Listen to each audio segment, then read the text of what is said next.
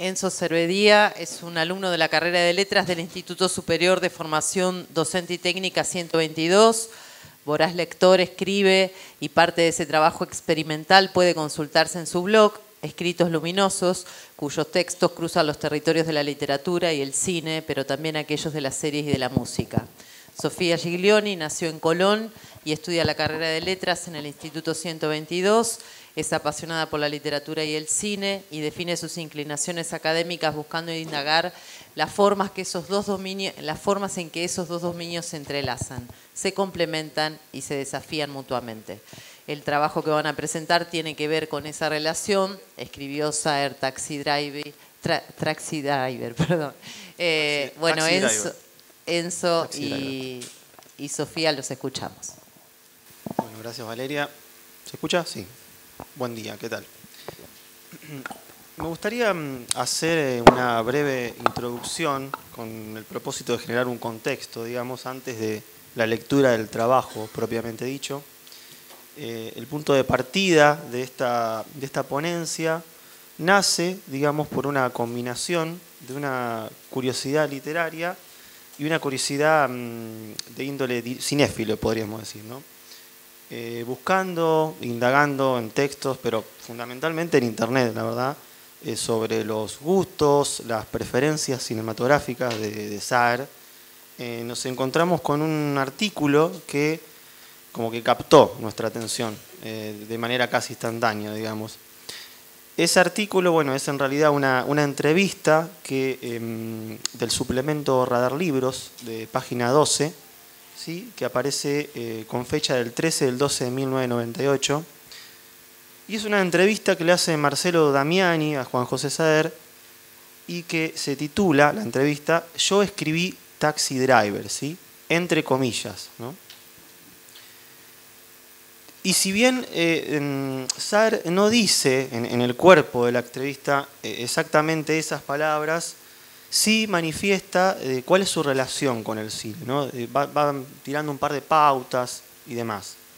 Por ejemplo, dice que alguna vez eh, se planteó la posibilidad de ser realizador cinematográfico, pero que bueno, hubo dos cosas que lo disuadieron, ¿sí?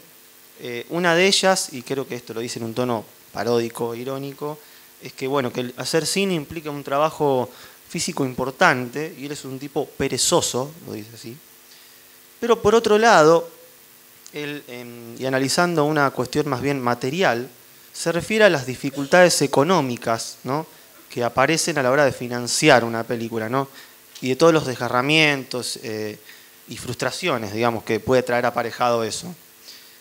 También habla de, bueno, de la conexión entre el cine y la literatura y de la complejidad, digamos, de adaptar una obra literaria al lenguaje fílmico. ¿sí?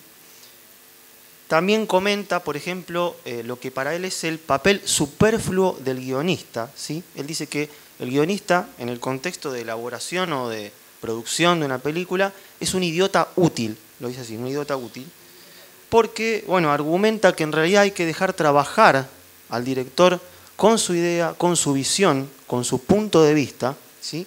porque sostiene saber que eh, el director es en última instancia el único responsable de una película no así los actores ni, el guionista. ¿sí?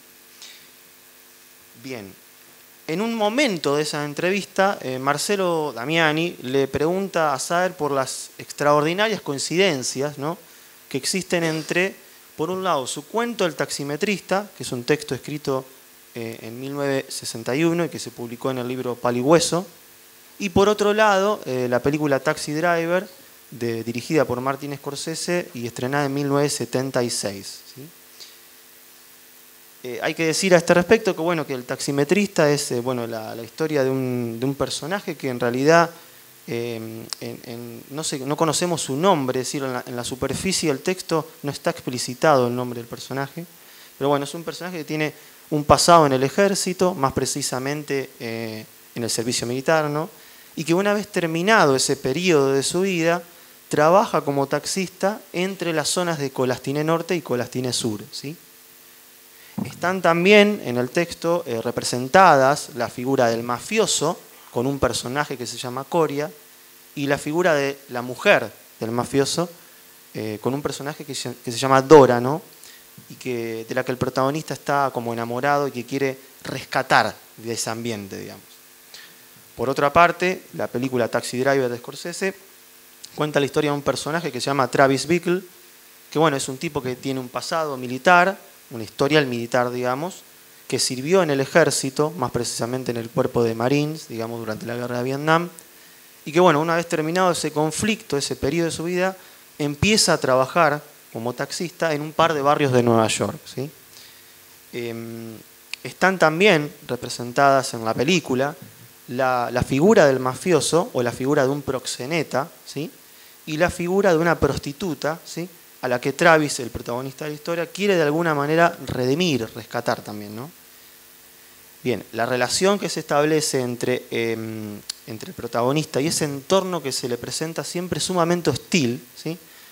Eh, finaliza en un clímax de la película con una especie de colapso y una matanza. ¿sí? Em, entonces, bueno, la ponencia que nosotros vamos a leer, vamos a compartir, es el recorrido que hicimos por, eh, al respecto bueno, de ese cuento y de la película. Al mismo tiempo, el ensayo que escribimos aborda ¿sí? como objeto de estudio el tema de la violencia eh, y cómo se representa la violencia, cómo se manifiesta eh, en ambos relatos. ¿sí?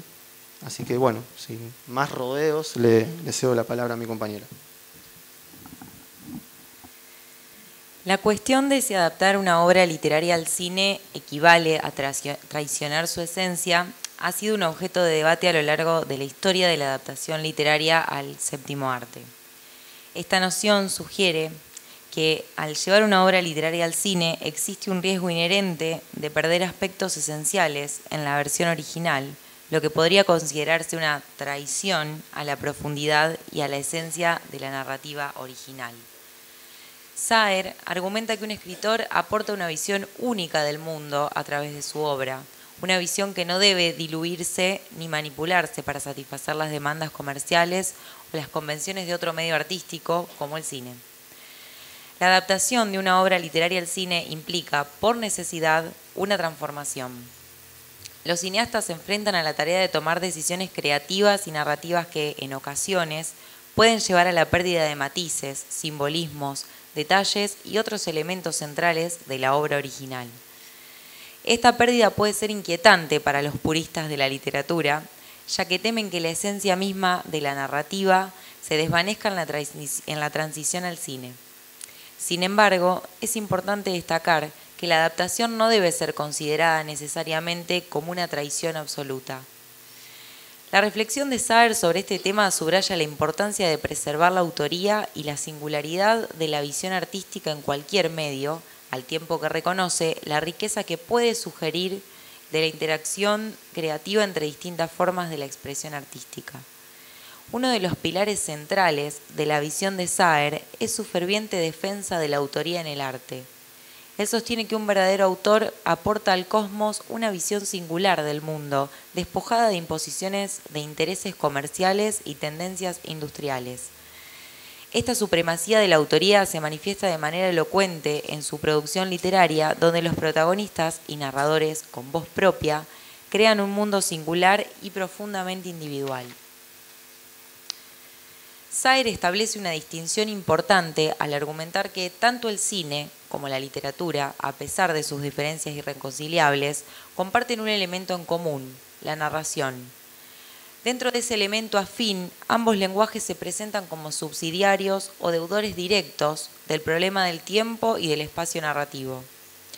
La narración, por lo tanto, arraigada en su estructura, actúa como elemento unificador que permite a ambas formas de arte influirse mutuamente.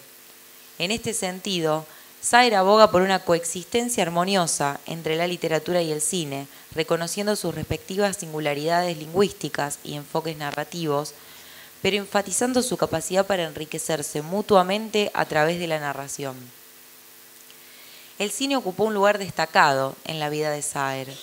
Aunque nunca llegó a materializar su sueño de convertirse en cineasta, su pasión por el cine y su profundo conocimiento se refractan prominentemente en su producción literaria. Por ejemplo, en la narcosis por describir minuciosa y exhaustivamente cada instante, en el uso extremo de la sintaxis como si esta fuera una postulación fragmentaria e ineficaz de la memoria, en la detención convulsiva y casi perpetua de un momento que, pese a esa misma dilación, se pierde en la fugacidad de la narración. La necesidad de describir obsesivamente implica, según Augusto Roa Bastos, una descripción que se reabsorbe en el fenómeno mismo de la escritura. La especificidad de ese procedimiento escriturario deja, con lo cual, poco espacio a la posibilidad de una representación cinematográfica fidedigna, es decir, atenta y rigurosa a los parámetros de la escritura o conduce con la funcionalidad de una imagen visual. Todo lo anterior, entonces, nos lleva a, plantar, a plantear una pregunta inusitada y provocadora. Escribió Saer, Taxi Driver, es posible que su cuento El taximetrista haya ejercido una influencia inadvertida en la película de Scorsese. Esta pregunta ilustra claramente cómo las pasiones duales de Saer por la literatura y el cine se amalgaman de manera impredecible, dando vida a composiciones que desafían las fronteras de sus respectivos medios. En este cruzamiento de lenguajes, a priori irreconciliables, según la visión saeriana, se producen, no obstante, conexiones, comportamientos análogos, puntos de referencia. Y si hay un punto, de hecho, en el que convergen las historias de El taximetrista y Taxi Driver, es en el tratamiento de la violencia. En ambos relatos, la violencia, ajustada mediante matices disímiles, deja entrever una suerte de pulsión que siempre está a punto de estallar y nunca lo hace, no al menos hasta el mismísimo final. Piensa el protagonista de Saer, Dora está hasta la coronilla de todo el mundo, dice Scorsese. Bickle está afectado por Vietnam. Es algo que crece dentro suyo y revienta. Y si bien al final parece haber recobrado el control, queda la sensación de que en cualquier momento puede volver a perderlo. En efecto, el periplo maníaco de Travis culmina con la masacre absoluta de toda aquella pestilencia que se cruza delante de sus ojos. El punto de vista subjetivo es otro método que sintetiza la supuesta ferocidad neoyorquina, sobre todo en barrios como Harlem o el sur de Bronx. La aureola subjetiva que emana la película permite entenderla como la visualización de la fantasía de un demente, lo cual trae aparejado, además, interpretaciones diversas y contrapuestas. Al respecto de esta disyuntiva, Tomás Valentí se expresa en los términos que siguen. Cito. Hubo quienes vieron en Taxi Driver una mera apología de la venganza, como si Travis fuera simplemente una versión demente de los justicieros urbanos puesto de moda por el cine norteamericano de los años 70 pero no fueron pocos quienes percibieron que en el fondo de Taxi Driver se ocultaba una verdad mucho más profunda, la de una visión paranoica de la Norteamérica de la época, obsesionada por la derrota de Vietnam, las armas de fuego, el aumento en los índices de criminalidad y el fin del sueño americano. Por su parte, el antagonista de Saer es sometido a una golpiza física a la que él mismo responde con una especie, una especie de displicencia indolente no es, en este sentido, tanto una golpiza corporal, sino más bien simbólica, de la que ni siquiera el contacto ambiguo de los cuerpos está eximido. Es a la vez una laceración física, una sombra que cae sobre el pensamiento, el retorno al trabajo o a la situación de dependencia, una herida que palpita en la pierna y que provoca una sonrisa entre amarga e irónica. El gesto de la media sonrisa en Saer y Scorsese es otra forma de ocultar la melancolía, la repulsión, el rencor o ese desasosiego voluptuoso que caracteriza a sendos personajes. En ambas historias hay, asimismo, un aplazamiento del clímax narrativo, dilación que alcanza su punto más álgido en la descripción de un acontecimiento traumático, la explicitud de unos cuantos golpes por un lado y la consumación del asesinato por el otro. En ese tránsito violento, la intolerancia, en el contexto argumentativo de Saer, va dejando paso a una resignación meditabunda, una ocurrencia feroz, que sin embargo encuentra su correlato en un dejarse estar perpetuo, en un ir y venir por la ciudad sin otro objeto más que el de recorrerla y observar de cuando en cuando las luces pálidas que surcan a cada vuelta de la esquina, con especial énfasis en la emergencia de la noche, en la que las calles se ven invadidas, según el narrador en tercera, por esta especie parasitaria y desigual que son los, son los calaveras recalcitrantes.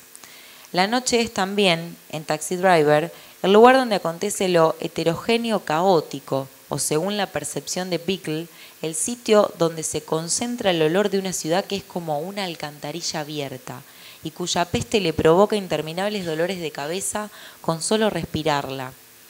Así lo atestigua la voz en off de Travis, mientras, mientras desnada entre un laberinto de carteles de neón, cines porno, hoteles y el ruido del tráfico constante, las avenidas mugrientas de Nueva York en busca de pasajeros. Por la noche salen todos los animales, putas, pordioseros, sodomitas, travestis, maricones, drogadictos, toxicómanos. Todo es asqueroso y venal. Algún día una lluvia vendrá y se llevará toda esta basura de las calles. Sin embargo, y a pesar de que reniega de los males que lo rodean, Bickle se sirve de ellos para ejercer su propia y desaforada rudimentaria violencia. Una violencia, además, que no solo se circunscribe al contexto de la nocturnidad. Las madrugadas y las altas horas de la noche suponen algo así como una extensión parasitaria de lo que sucede durante el día. Lo mismo que acontece en el texto de Saer, cuando las jornadas de trabajo diurno, a pesar de ser contrarias a, a, las de la noche, tampoco están exentas de un caos preciso y sofocante en el que los viajeros, llegados desde diferentes puntos de la provincia, simulan pescados que se ahogan en el frenesí por llegar a la parada de rigor. Un clima de inercia y desorden, análogo al que uno puede percibir cuando observa cómo se abre la rampa de un lanchón en el puerto para dejar caer una muchedumbre de mojarras todavía vivas en la canasta de una pescadería, dice Saer. Ahora bien, la diferencia entre el protagonista de Saer y el de Scorsese estriba en la reacción diametralmente opuesta con que cada uno responde ante la violencia de una metrópoli siempre en detrimento de los deseos personales.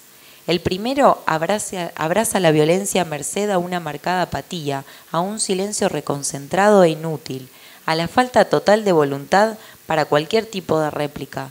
Debería desear matarlo, dice el protagonista días después de la palicia que le da a Coria.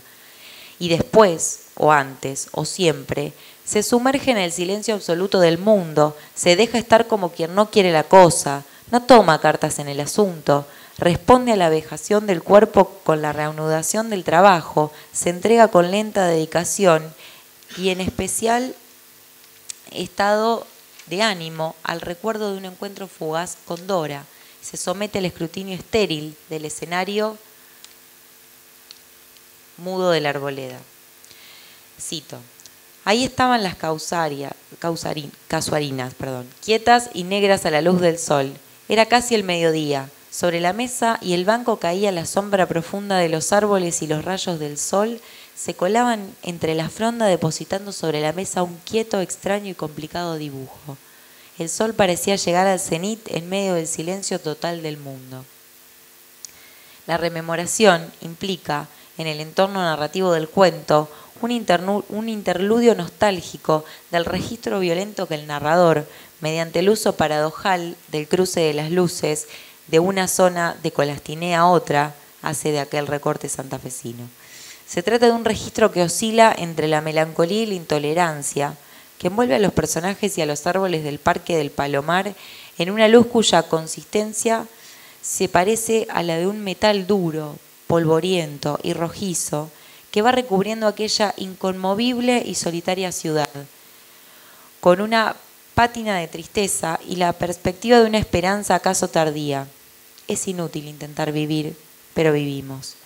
Y que, en última instancia, maquilla la avenida del puerto y el club de regatas con una luz pálida, blanquecina, casi lunar, como si una mano invisible y condescendiente o una fuerza superior e inclemente estrujara el destino último de los personajes.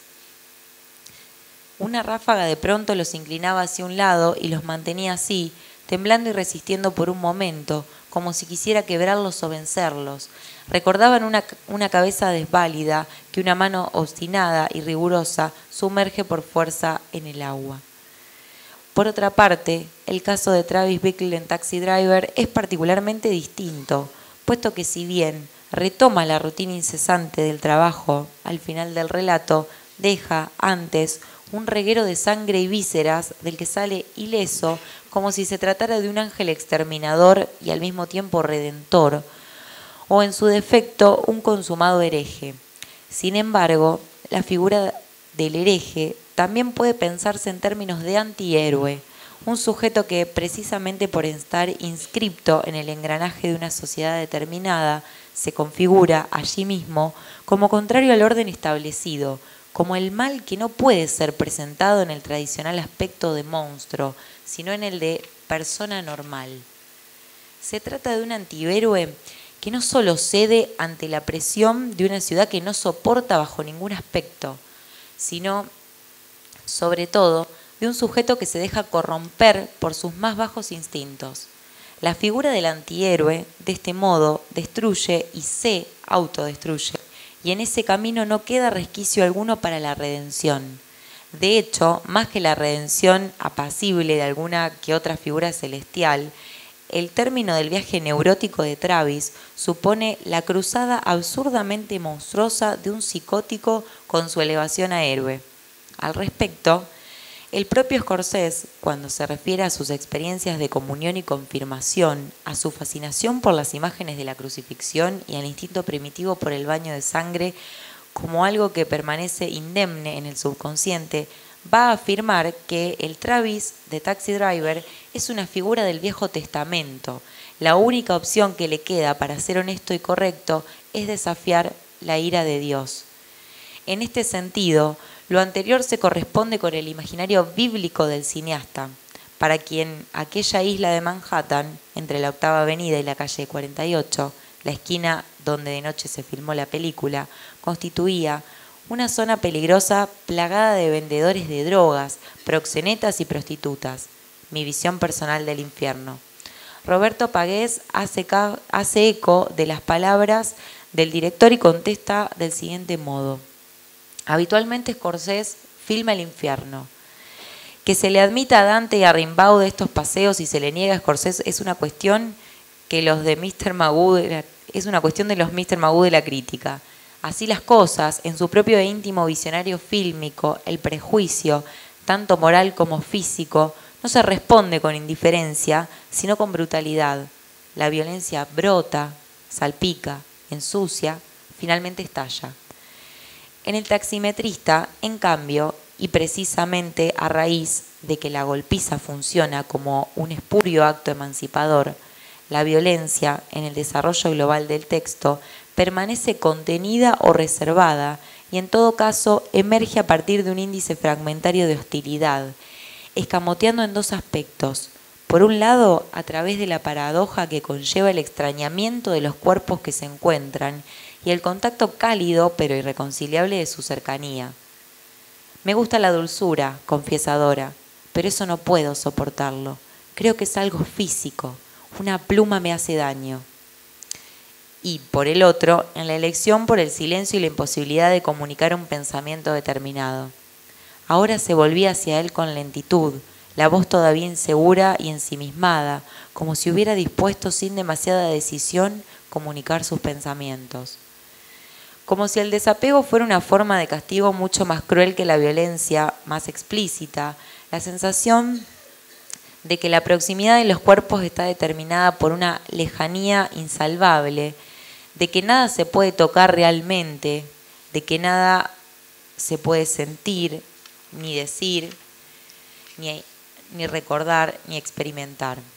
El recuerdo es otro mecanismo del exterminio en donde las imágenes del pasado surgen borrosas, intermitentes, pálidas, y en donde el presente se vislumbra como una justificación de la existencia o como una suerte de epifanía fugaz que recorta apenas un instante transitorio de la vida. Cito. Era una paz activa y lúcida en medio de la cual las cosas existían, el mundo existía, había espacio y atmósfera que recorrer entre una cosa y otra, había que salir y andar. También él, Doria, Dora, Coria, Barco, eran algo y existían. Y ahora él estaba ahí, Estoy aquí, pensó, y volvió la cabeza, contemplando a Dora. Miró hacia el río nuevamente y se dijo, nunca olvidaré este momento. Sin embargo, la sensación de que nada se puede verdaderamente expresar ni entender persiste del mismo modo en que aquella mórbida mañana aparece una y otra vez en la memoria del protagonista, confundiendo recuerdo y realidad, pasado y presente, amor y desencuentro, deseo porque reviente la humanidad y la sensación de un cuerpo que duele sin asco. No entiendo nada, dice el protagonista a Barco cuando este último, después de un viaje en coche que termina bordeando las vías del tren, le pregunta qué entiende por vivir. En este último punto, tanto el personaje de Saer como el de Scorsese mantienen un cierto paralelismo. Ambos representan individuos desprovistos de autoconciencia. No les interesa demasiado nada, no les incumbe el mundo en derredor, no los interpela ningún tipo de contingencia política ni mucho menos partidaria. Son personajes disociados, apartados y metidos a un mismo tiempo en una ciudad que los expulsa con cada paso que dan y ese nihilismo reconcentrado y en tanto vano se observa sobre todo en Taxi Driver. Gustavo Castaña, cuando se refiere a los temas y a los dilemas en Scorsese, constata que la política, factor de poder, permanece ajena a los intereses de Travis y únicamente se la muestra para, darle tensión a su acercamiento a la empleada rubia del candidato de Palatin. Gracias. Bueno, continúo. Em, en el film de Scorsese, cuyo guion escribió Paul Schrader, la violencia se manifiesta en un puro estallido, sin contemplaciones ni rodeos. Pagues sugiere que la violencia en, en Taxi Driver es una forma de comunicación devastadora y o la detonación de un mecanismo que no se aguanta más el autocontrol. A este respecto, la influencia de otros dos directores, Samuel Fuller y Michael Powell, permite entender esa obsesión por una violencia, la recurrencia por los intensos tonos rojizos, por ejemplo, que no es solo un recurso gratuito y cromático para explicar argumentos o recrudecer actitudes de personajes, sino que, antes bien, constituye un elemento de fundamental importancia en la filmografía de Scorsese. Él mismo sostiene que, por un lado, las películas de Fuller me enseñaron que la violencia emocional no debe ser suscitada solamente a través del actor, sino sobre todo por la cámara. Y por el otro, que la violencia emocional es definitivamente más terrible que la violencia psicológica. Siguiendo esta línea de análisis, Eduardo Russo, cuando ahonda sobre los precursores del cineasta oriundo de Nueva York, explica que Fuller dejó su marca decisiva en el joven Marty, con sus lecciones de movimiento de cámara y de una violencia tanto provocada por la acción como por el modo en que ésta es registrada. Y el modo en que se registra esa violencia tiene que ver con un sentido de la sugerencia y con la creación de una atmósfera que nace precisamente de esa intención, de esa provocación soterrada. Hay algo en el ambiente que va a estallar y la forma de introducir esa irritabilidad parte, por ejemplo, de la banda sonora que a veces parece el telón de fondo de una película de terror y cuya introducción anuncia la irrupción de la violencia más cruda, explícita y elemental. Veamos una escena.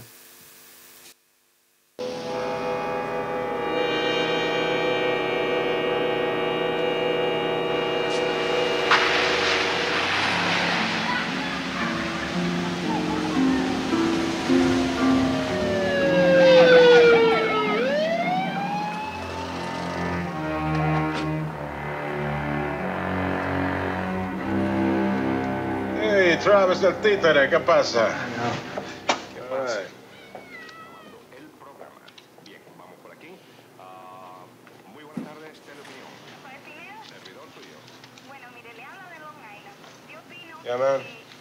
Okay, shut your fucking mouth and give me the cash out the drawer. Come on. Come on. Let's go. Let's Okay, go. man, give me don't- the goddamn don't cash. shoot. I- Come I'm on. getting it, man. Stop taking so long. Come on. Let me have it. Give me the, give me the bread. This all you got? That's it. Reach in your sock and get the rest. I don't of have any more money, man. words out. Give me the rest of the goddamn That's all I got. You What you got want me to more. Give me more. I'm Reach in your telling you, I fucking got no sock. money. Reach in your sock. You got more bread. That's it, man. Give me the rest Hey. of the fucking bread. Hey,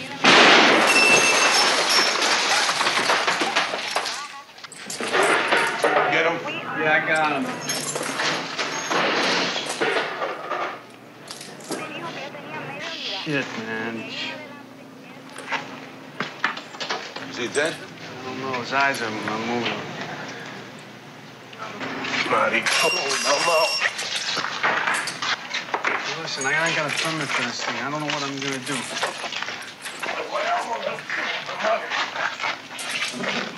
Don't worry about it, man. I'll take care of it. Give you some money. No, man, just, just get out of here. No, no, man, I'll take care of it. Go ahead. My mouth that way, I hold that door. Marty, come. The fifth motherfucker this year.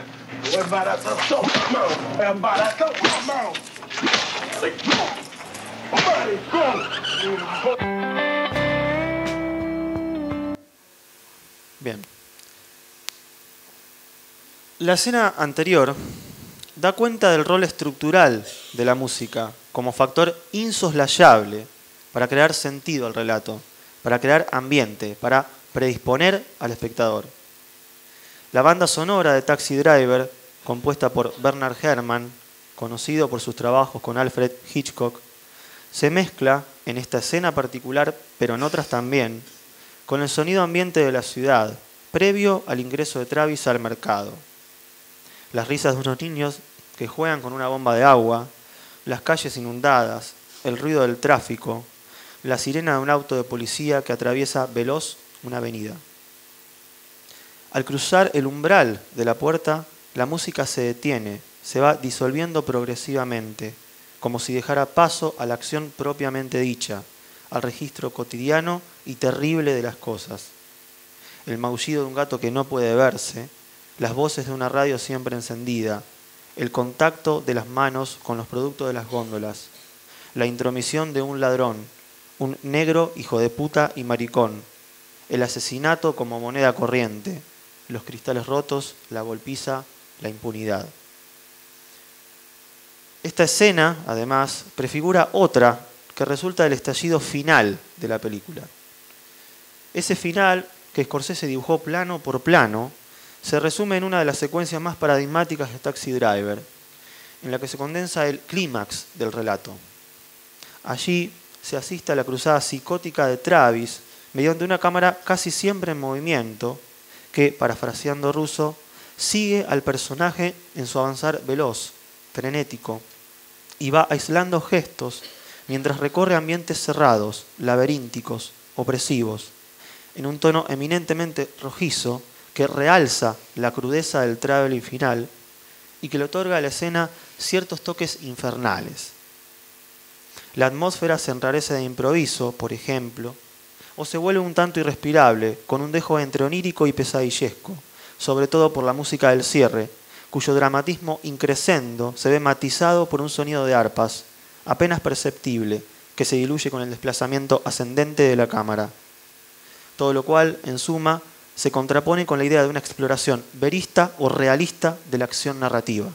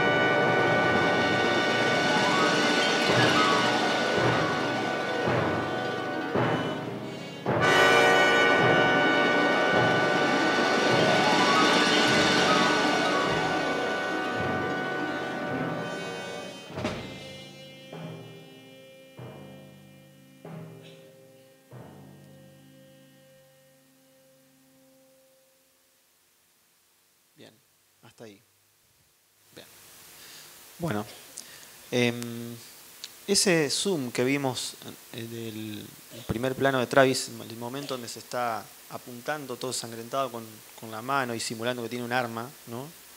ese zoom, digamos, o ese primer plano del rostro de Travis, cumple la función formal de un elemento aislante, cerrando los encuadres, aplanando las perspectivas hasta grados asfixiantes.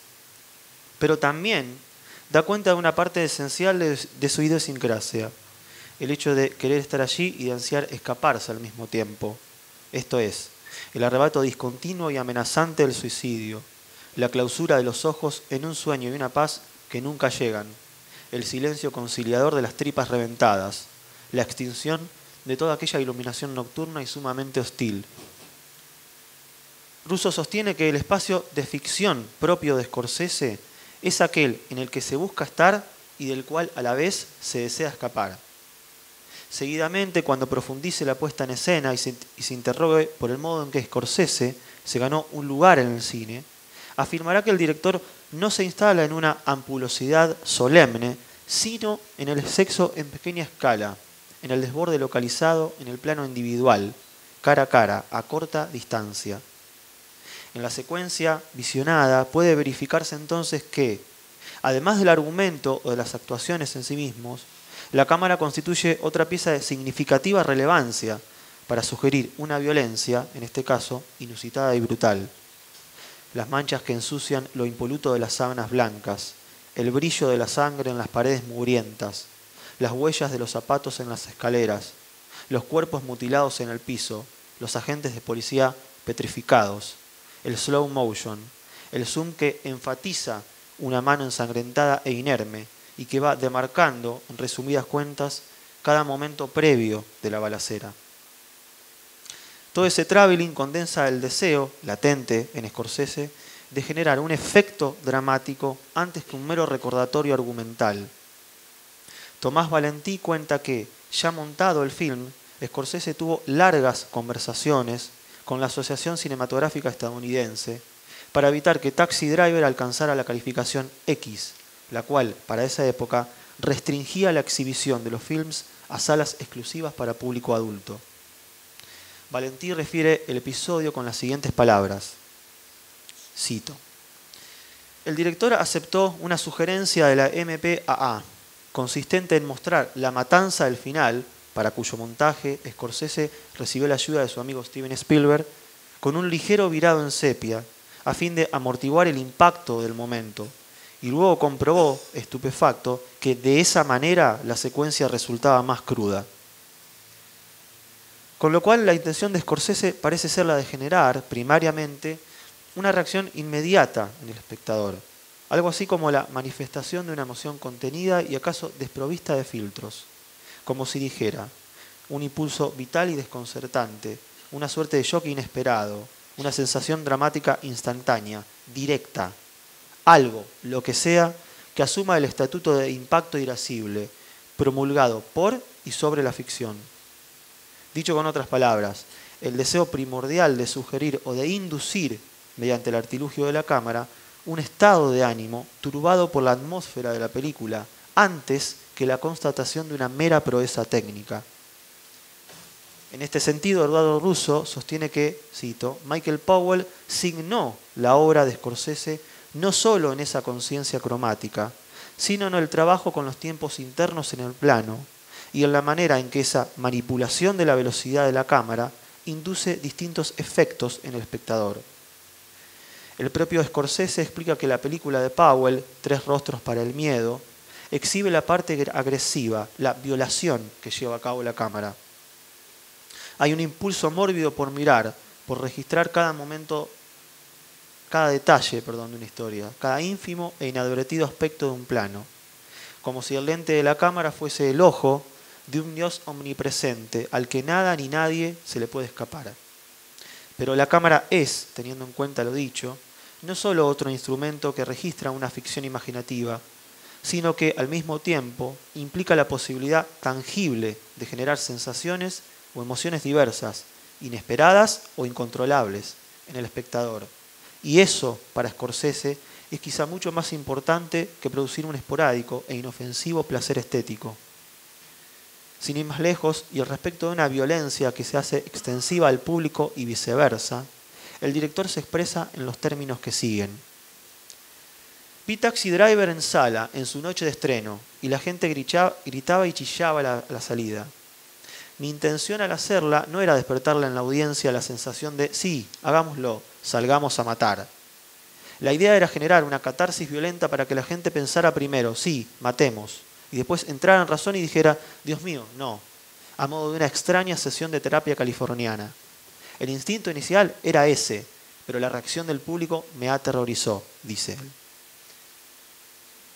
Finalmente, y en relación con el punto de partida que motivó el título de esta ponencia, la pregunta en efecto persiste. ¿Escribió Saer, Taxi Driver? Para empezar a responder esta inquietud, cabría pensar en la triada Dostoyevsky-Saer-Scorsese. Dos hechos precisos vinculan al director con el escritor ruso. En primer lugar, sus deseos de filmar Memorias del Subsuelo. Taxi Driver fue lo más cercano a ese libro con lo que me crucé, confiesa. Y en segundo lugar, uno de sus primeros encuentros, allá por 1974, con Paul Schrader, a quien Scorsese le comunica la idea de escribir un guion a partir del jugador, encargo que el guionista rechazaría porque ya tenía lista la historia de Travis Bickle. Con respecto a Saer, basta revisar algunos aspectos del argumento del taximetrista para encontrar puntos en común con aquellas memorias. Algunos ejemplos retratan, con similares consecuencias, el proceder de ambos protagonistas. Por un lado, el funcionario de la administración piensa para sí mismo, luego de un almuerzo con antiguos compañeros del colegio, a los que por cierto desprecia, y quienes aparentemente no han dejado de calumniarlo de las más horribles maneras, citándolo a una hora que no era la convenida, haciéndole notar su pobreza, trayendo a colación su mísero trabajo en la Cancillería. Ahora, piensa el funcionario para sus adentros, debería agarrar esa botella y estamparla contra ellos. Frase que, por otra parte, también podría interpretarse como debería desear matarlos. Pero nada de todo eso, claro está, sucede en el final. Las memorias continúan escribiéndose, de alguna manera, según la advertencia de un narrador en tercera que, en un último párrafo, deja momentáneamente la acción ahí, a medio terminar. El taxista de Sar reanuda su trabajo un sábado como cualquier otro, en medio de una primavera quebrantada. Ambos protagonistas, no obstante, comparten una especie de voluptuosidad que ilustra sus maneras de pensar y de actuar. Ambos, además de debatirse entre una inercia continua y una voluntad narcotizada, quieren redimir la vida prostibularia de una mujer a la que profesan un cariño que podría tacharse de siniestramente sentimental. El funcionario de Dostoyevsky se mantiene voluptuosamente inmóvil en la inercia y al taxista de Sar le recorre un escalofrío de voluptuosidad por la espina dorsal frente a la sola perspectiva de tener que encontrarse con sus compañeros en el bar de la estación. En la segunda parte de la novela, aquel hombre de su suelo entra en una tabernucha en aquella San Petersburgo abstracta y premeditada. Y mientras un par de parroquianos se pelean con los tacos de billar, él clama ser ultrajado a golpes por cualquiera de los contendientes, pero un oficial, apenas ingresado, le baja los humos y el desenfreno del momento se diluye de una manera, dice el narrador, apocada y amedrentada. El solitario antagonista de Sar, por su parte, tiene la ocurrencia feroz, lo dice así, de dejarse golpear hasta la inconsciencia por Coria y por el niato Garcilaso.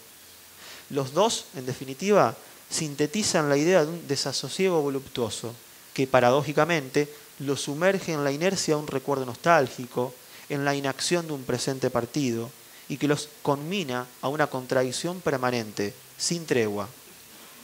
Dostoyevsky cuenta cómo esos elementos opositores bullen dentro de la vida interior de su personaje, pidiéndole salir al exterior, apenas retenidos en los recovecos del alma por efecto de una conciencia excesiva.